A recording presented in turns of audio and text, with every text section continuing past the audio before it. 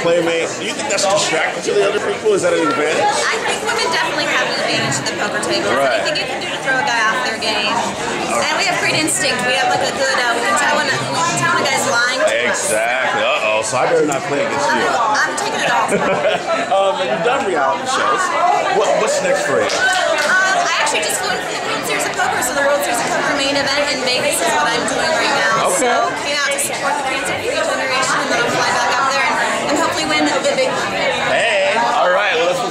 Thank you. All right. Perfect.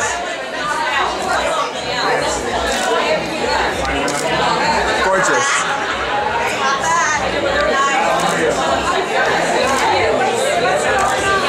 Good job. Thank you.